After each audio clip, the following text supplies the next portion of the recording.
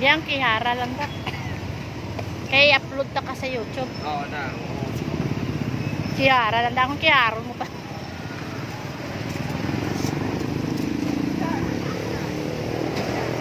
Na sa te. Ano?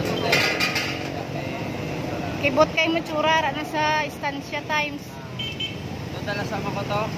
Kita ka man ko. Sige lang ah. Ina-edit pa man.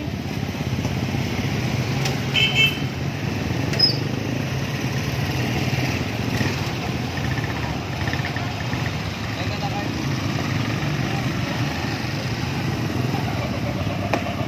Pero hindi kasi ni kakaon.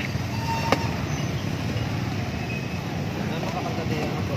Wala ta lang wala ta. Ay aba, huwag niya itsura pa sa bata kung magamay. Lang. Na. Ano ko noon? Din nga niyo. Bantayan niya gid ka.